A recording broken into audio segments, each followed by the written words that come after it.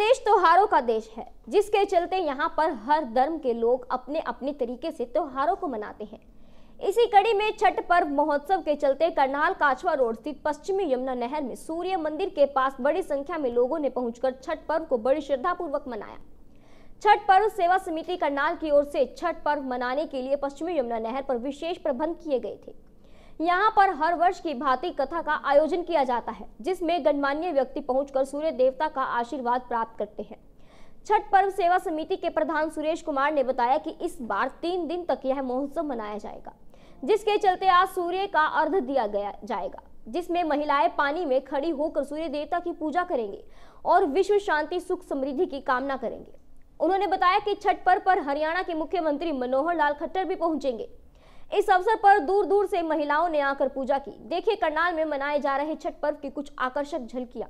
जो मनता है वो मांगते हुए आज पूरा कर देते हैं। तो आज क्या भगवान ने राम भगवान ने व्रत करवाया था सीता माई से। हाँ, हाँ। वो मन्नत है इनका। बहुत मन्नत है। सब वही ने दिया।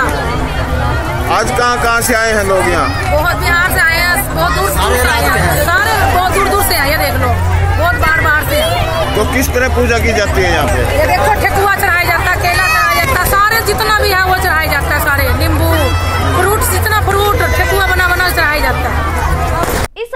सांसद संजय भाटिया में रेणु बाला गुप्ता जिलाध्यक्ष जगमोहन आनंद ने पहुंचकर छठ पर्व की शुभकामनाएँ दी। इस मौके पर संजय भाटिया ने संबोधित करते हुए कहा कि छठ लोक आस्था का पर्व है। जीवन की सात्विकता, सदाचार और उच्च जीवन मूल्यों के सम्मिलित समन्वय का महापर्व है छठ। उन्होंने शुभकामनाएँ देते हुए कहा कि भगवान सूर्य अपनी ऊर्जा से आपके समस्त परिवार को नई खुशियाँ प्रदान करे। यह पर्व हमें प्रकृति और नदियों को प्रदूषण मुक्त बनाने की भी प्रेरणा देता है। उपवास को सूर्य देवता के समक्ष उन्होंने पूर्ण किया।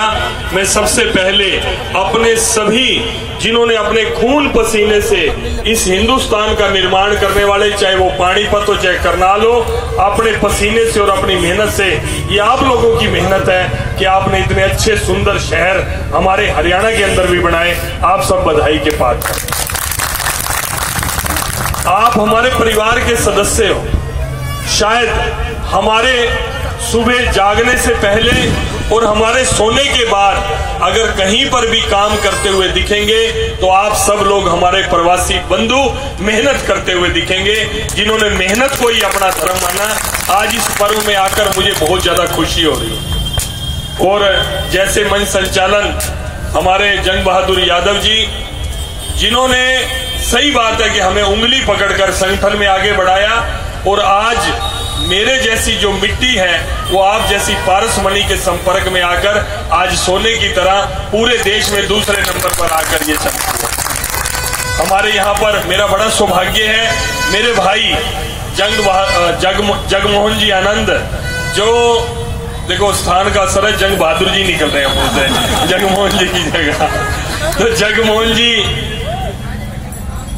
JBD Banquets lie हैं incredible marriage palace Rajgharana and the finest banquet hall Jyoti Garden.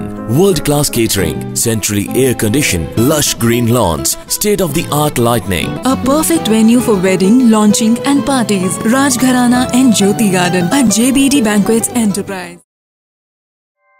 ऐसे ही लेटेस्ट खबरें पाने के लिए बेल आइकन को क्लिक कर हमारे चैनल को लाइक शेयर एंड सब्सक्राइब करें धन्यवाद।